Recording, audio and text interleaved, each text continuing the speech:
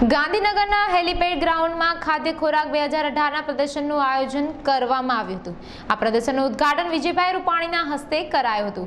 પ્રદર્શનનો મુખ્ય હતો લોકો ફૂડ ક્ષેત્રમાં નવા ઇનોવેશન અને ટેકનોલોજી વિશે જાણે તેવો હતો. આ તકે ખાદ્ય ખોરાકના કાર્યક્રમમાં આયોજક નેતાઓ આ પ્રદર્શન વિશે અને પરંપરાગત વાનગીઓ વિશે લોકોને માહિતી આપી હતી.